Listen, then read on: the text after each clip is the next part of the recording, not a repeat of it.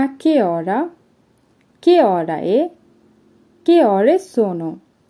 এই তিনটা ফ্রাজে যদি আমরা লক্ষ্য করি, তিনটার অর্থ কিন্তু একটাই হবে, সেটা হচ্ছে কয়টা বাজে প্রথমে আমাদের এখানে লক্ষ্য করতে হবে কোন ভেরবোটা ব্যবহার করা হয়েছে এখানে কিন্তু ভেরবো অ্যাসেরে ব্যবহার করা হয়েছে প্রথমটা হচ্ছে কে অরা এ, এখানে সিঙ্গুলার শব্দ ব্যবহার করা হয়েছে এ, তারপরেরটা আছে কে অরে সোনো এখানে হচ্ছে প্লুরাল সময়ের ক্ষেত্রে এটা ব্যবহার করা হয়।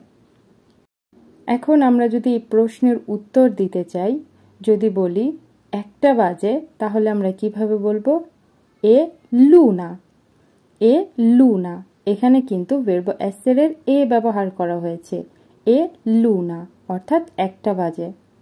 আবার যদি বলি, এ ম্যাজ্য চূর্ণ অর্থাৎ দুপুর, মধ্য দুপুর। সেক্ষেত্রেও কিন্তু এখানে ভেরব অ্যাসেরের এ ব্যবহার করা হয়েছে।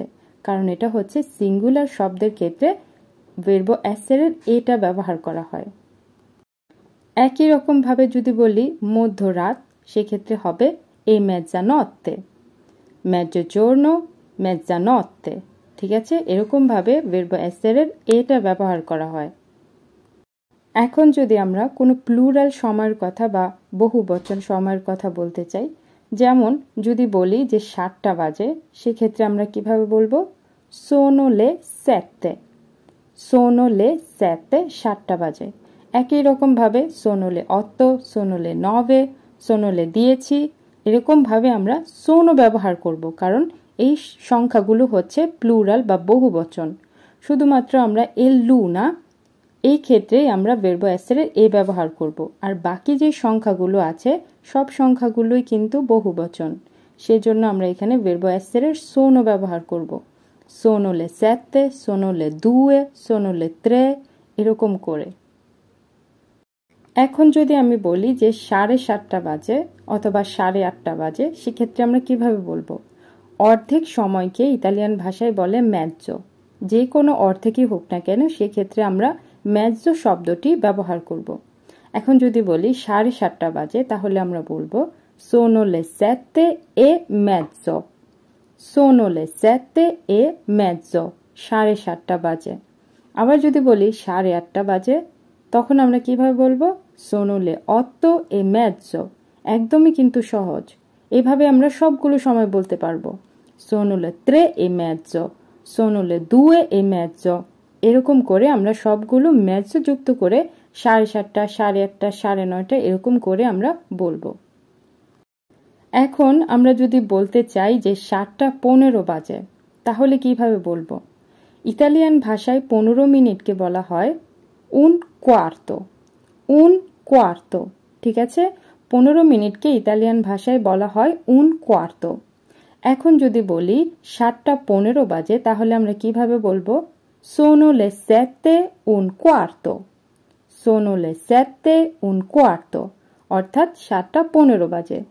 একই রকমভাবে যদি বলি আটটা পনেরো বাজে, তাহলে আমরা বলব সোনোলে অত্ত এ উন কোয়ার্ত।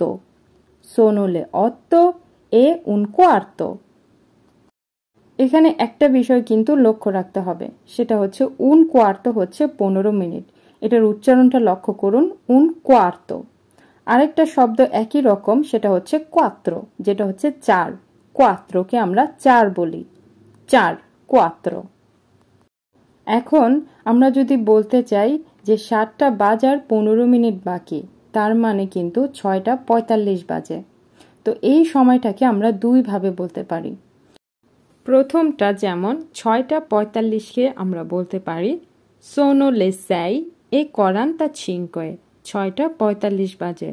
সোনো লেসাই এ করান্তা ছিঙ্কয়ে ফুল সময়টাকে আমরা পুরোপুরিভাবে এভাবে বলতে পারি।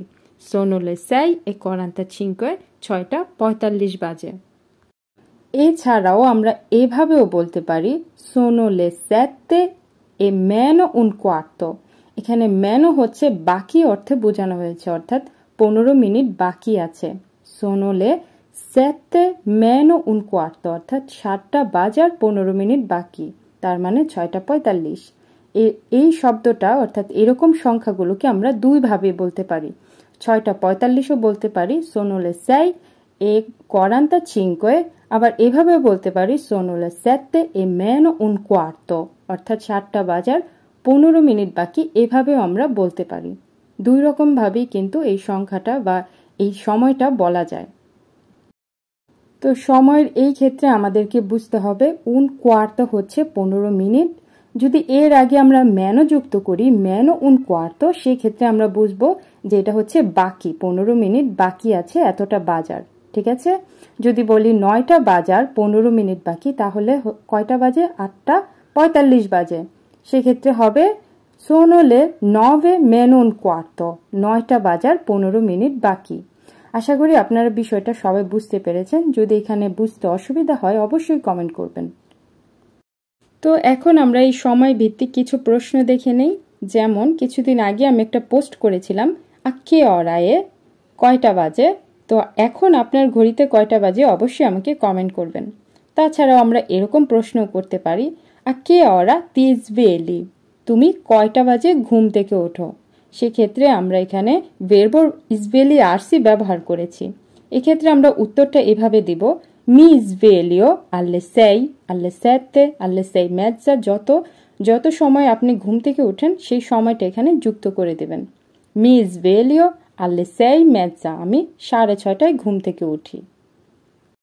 তারপর এরকম প্রশ্ন হতে পারে আর কে ওরা ফাই কলাৎসিয়নে? কে ওরা ফাই কলাৎসিয়নে তুমি কয়টায় সকালে নাস্তা করো? তাহলে এর উত্তরে আমরা কীভাবে বলব? বেরবো ফারে ব্যবহার করব। ফাচ্চো কলাৎসিয়নে আল্লে সেতে আমি সাতটায় সকালের নাস্তা করি। ফাচ্চো কলাৎসিয়নে আল্লে সেতে তারপরে এই প্রশ্ন হতে পারে, a che ora inizi a lavorare? A che ora inizi a lavorare? তুমি কয়টায় কাজ শুরু করো? ঠিক আছে? এই ক্ষেত্রে তুমি দ্বারা যেহেতু প্রশ্ন করেছে আমি আমি দ্বারা উত্তর দিব। এখানে ভেরবোটা ব্যবহার করা হয়েছে ইনিৎসিয়ারে অর্থাৎ শুরু করা। তাহলে উত্তর কীভাবে হবে? ইনিৎসিও আলাভোরারে আল্লে অত্ত আমি আটটায় কাজ শুরু করি।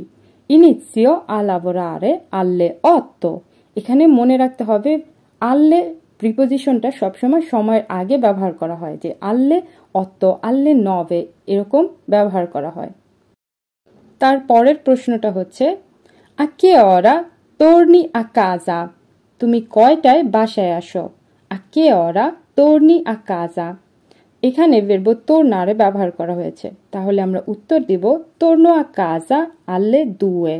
আমি দুইটায় বাসায় আসি, অথবা তোর্নো আকাজা আল্লে সেরা। আমি সন্ধ্যায় বাসায় আসি। এরকমভাবে আমরা উত্তরটা দিতে পারি। তারপরের কোশ্চেনটা হচ্ছে আকে অরা চেয়ে আকে অরা চেয়ে কয়টায় রাতের খাবার খাও? এক্ষেত্রে দুইভাবে বলা যেতে পারে। এখানে বেরবো চেনারও বলা যেতে পারে, আবার বেরবো ফারেও বলা যেতে পারে। যেমন, ফাচ্চোলা চেনা, আমি রাতের খাবার খাই। ফাচ্চোলা চেনা, আল্লে নভে আমি রাতের খাবার নয়টায় খাই। ফাচ্চোলা চেনা, আল্লে নভে অথবা এখানে শুধু সময়টা বললেও চলবে যে আল্লে নবে, নয়টায় রাতের খাবার করি। তারপরের প্রশ্নটা হচ্ছে a che ora vai a letto a che ora vai a letto কয়টায় ঘুমাতে যাও? সেক্ষেত্রে আমরা বলতে পারি, বাদো a letto আল্লে দিয়েছি।